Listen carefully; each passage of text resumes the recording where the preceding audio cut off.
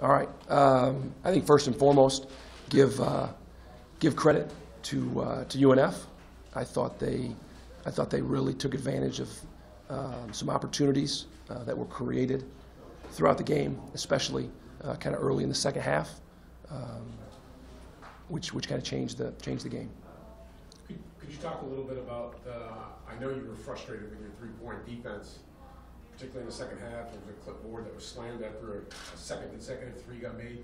What did you guys do differently in the last seven minutes to keep the three from hurting you? I thought our urgency changed. Coach, how hard is it to kind of get a team to bounce back when they're, when they're dealing with uh, an 18-point deficit at one point and keep them on top of, of being ready to go, which they showed great resiliency firing back? And like I said in the locker room, give those guys uh, that were out there that, that, that made the comeback uh, a lot of credit. Appreciate, appreciate their effort tonight. How about uh, this, I mean, the atmosphere is everything you you envision, right? Yeah, give, uh, I think give our ticketing and marketing people a lot of credit. Uh, I thought a lot went into this game. Uh, Pretty sure this was the first ever uh, sellout of of Swisher where, where there were no tickets available uh, day of game. And that's a credit to, it's a credit to our guys for the, the work that they've done, uh, putting us in this position, but it's also a credit to our administrative staff for, for really working here uh, this any- week. sorry, Can you take any real solace in the way that you guys fought and came back? Or is just the disappointment of just being that close to getting a share of the ASUN title just kind of too much right now? No, not, not the, not, not the second part. The, the, the issue is just, just frustrated with our lack of urgency uh, and our effort uh, at times, you know, throughout the game.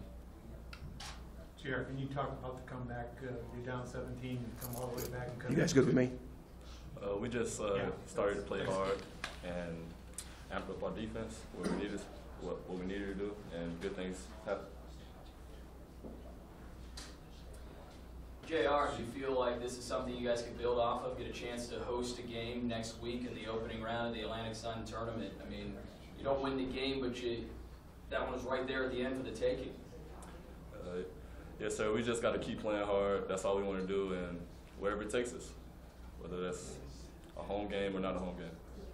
JR, any chance I get you to slide in that middle seat Yes, sir. so we can pick you up? Gotcha. You guys good?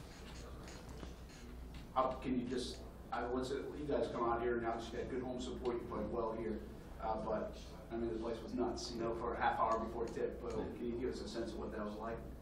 Um, it's always good having support from our from our fans, and you know, the love. Let us know that we're um, we're supported. Give you a little taste though, uh, you know, regardless of if you play at home again this year, but, you know, the program going forward, kind of taste of what's to come type of deal? Uh, yes, sir. We like uh, we like our fan support, and we would like to see it continue, build on it, and see where it takes us. How do you think they got away from you in this game?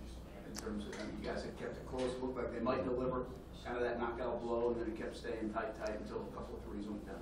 Uh, we didn't play at our best ability on defense on the defensive end, so we got a little loose, and they got open shots, and they made them. That was probably part of the, the comeback, the change in defense, but Yes, what went right on the offensive end, and in order for you guys to kind of go on that run at the end? Just staying aggressive. That's the biggest thing. Staying aggressive on offense and defense. Eighty-one, eighty-one eighty, it showed you, that- I mean, we've seen upsets all around, like Stetson beat Gulf Coast today. Is this wide open going into the tournament, in your opinion? Uh, we just want to play hard, whether that takes us all the way or we just want to give our maximum effort. Did you, did you just feel like you guys dug just way too deep, deep of a hole for yourselves against a team like this? Uh, it it doesn't really matter. We just uh, just staying staying locked down on defense.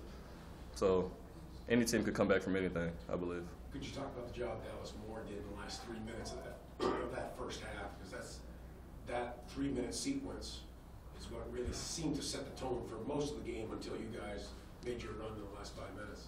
Uh, we got loose on defense. He's a really good player, but we got really loose on defense, and that led to a lot of, you know, buckets. Anything else? All right, Chair. Thank you.